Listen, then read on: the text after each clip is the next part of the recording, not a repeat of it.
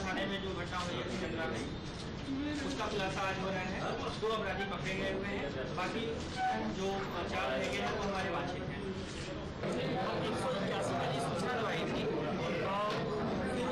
सोलह मई को रुनकता थाना सिकंदरा में डकैती की घटना हुई थी, जिसमें एक व्यापारी को गोली मारकर उसका थैला छीन लिया गया था। उस डकैती की घटना में शामिल दो अभियुक्तों को आज हमने गिरफ़्तार किया हुआ है।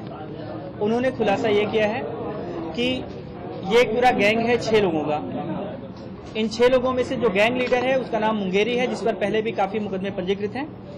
आज जो अपराधी गिरफ़्तार किए गए हैं, उनमें से एक का नाम अजय है, जो थाना सैया का रहने वाला है आगरा में, और दूसरा रुस्तम है, जो रुनक्टा का रहने वाला है।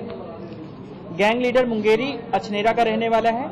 एक अन्य फरार अभियुक्त चाँद, ये अछनेरा का रहने वाला है।